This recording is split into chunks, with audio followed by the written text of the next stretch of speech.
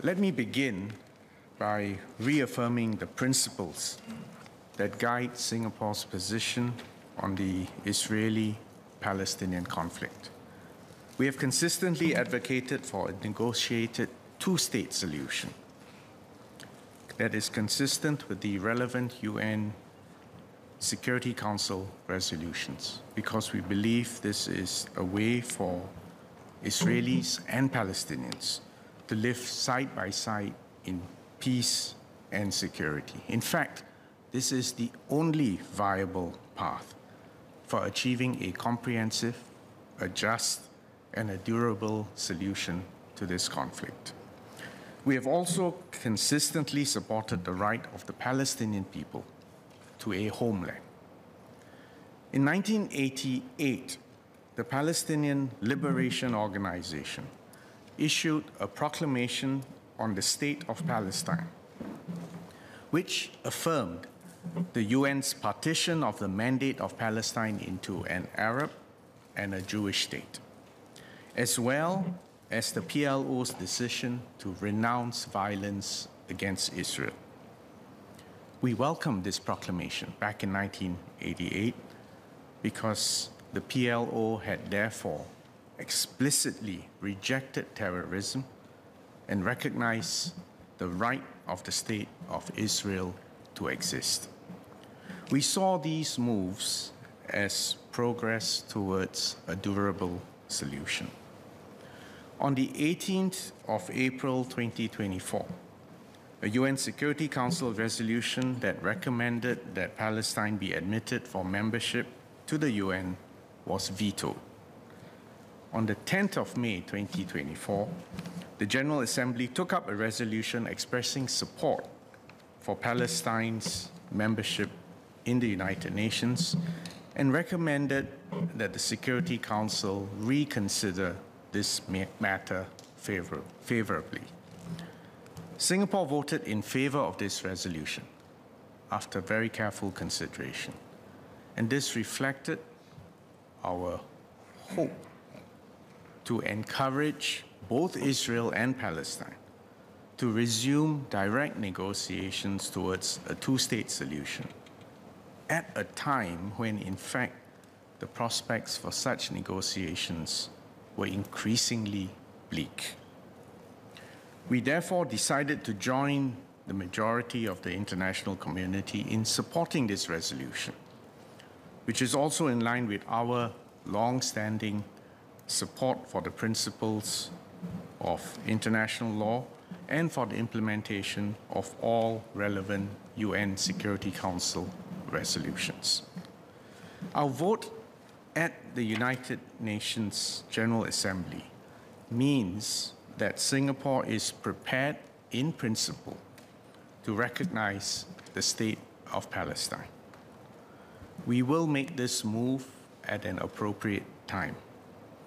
Our key consideration is that such a move on our part should help progress towards peace and a negotiated two state solution.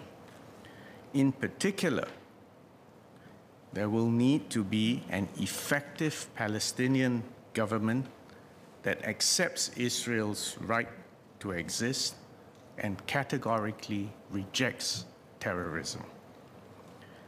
Both sides have legitimate rights, and both peoples have a right to live in peace and dignity within secure borders. We urge both sides to seize the moment to take steps towards a long lasting peace and to put an end to the suffering that has gone on for far too long. Ultimately, Israelis and Palestinians will need to exercise leadership and will have to work together to forge a better future for their peoples. As Singapore is a friend to both Singapore will continue to offer our encouragement and our tangible support to both Palestinians and Israelis.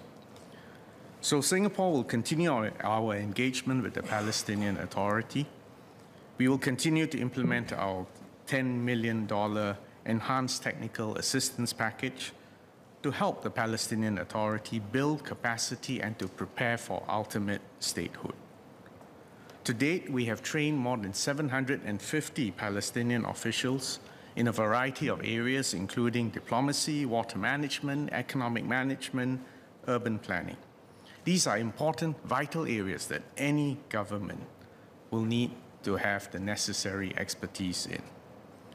During my most recent visit to Ramallah in March this year, Prime Minister of Palestine, Mohammed Mustafa, expressed his appreciation for our long-standing technical assistance, and in fact, he sought further capacity building support, especially in civil service training and in digitalization.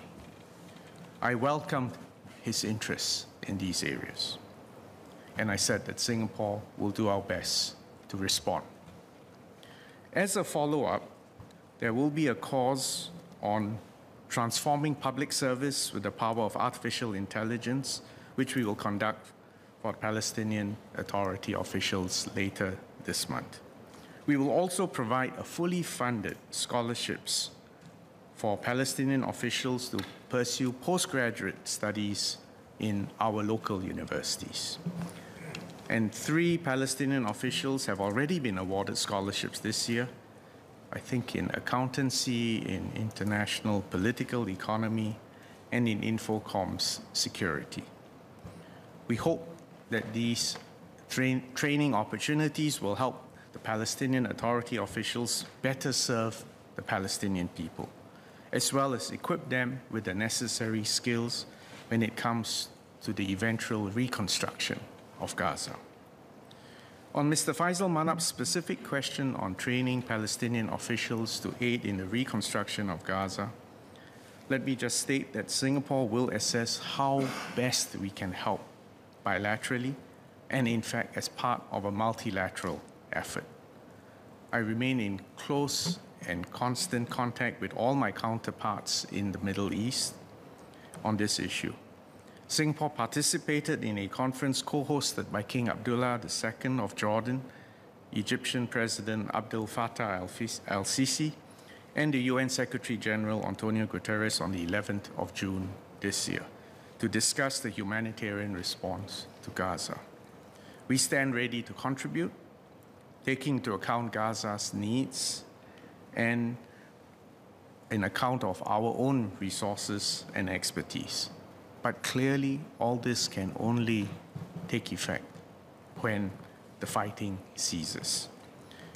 For now, the focus has to be on securing an immediate humanitarian ceasefire in Gaza and the release of all hostages immediately.